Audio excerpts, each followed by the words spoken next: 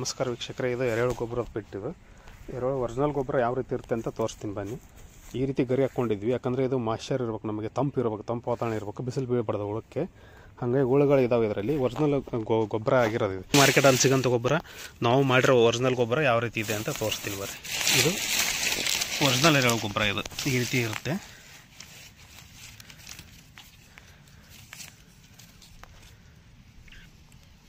ಈ ರೀತಿ ಇರುತ್ತೆ ನೋಡಿ ಸ್ನೇಹಿತರೆ ಒರಿಜಿನಲ್ ಎರೆಹುಳು ಗೊಬ್ಬರ.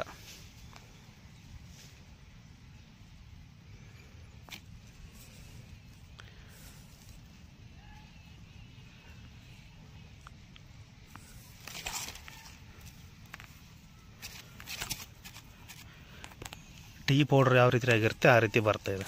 ಟೀ ಪೌಡ್ರ್ ಥರನೇ ಕಾಣುತ್ತೆ ನೋಡಿ.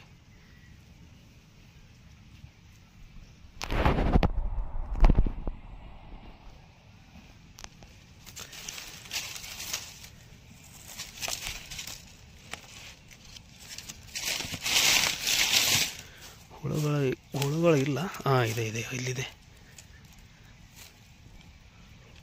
ಸರಿ ಸೈಡಿಗೆ ಹೋಗ್ಬಿಡ್ತಾವೆ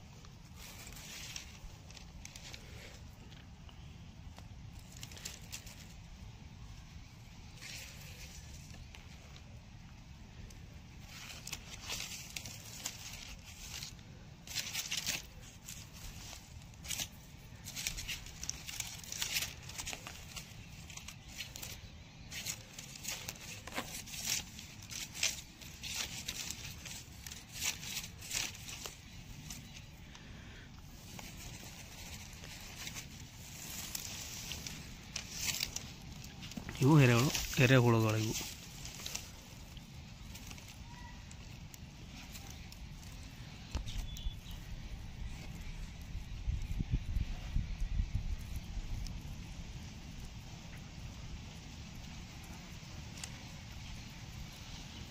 ಇವು ಎರೆಹುಳುಗಳು